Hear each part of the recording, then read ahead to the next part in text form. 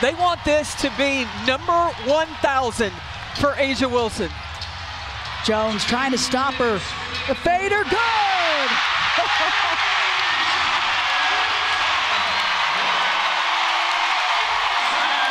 A'ja Wilson with a thousand career points on the season. The first in WNBA history. And this crowd knows it. That she brings to the floor.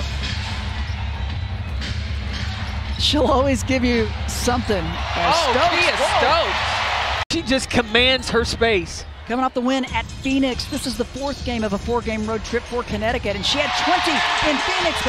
They're hitting some shots. They get AT and Bonner going a bit more offensively, and that's the difference in this one. And Mabrey as well as Plum with the step back. Harris, and she got a thousand last year, but that included playoffs.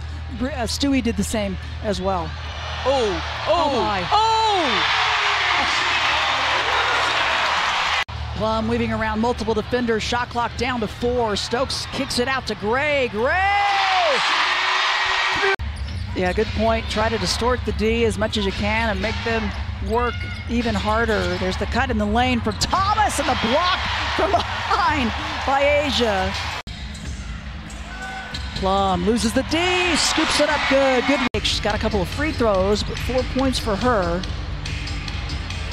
Gustafson Hayes and Clark get the start, and Chelsea Gray out see. You were talking about her, the sixth player of the year last year. She's got 17 starts this year as Wilson in the paint, good. The extra pass, and this one, Jackie Young open and sticks it. Just what you said.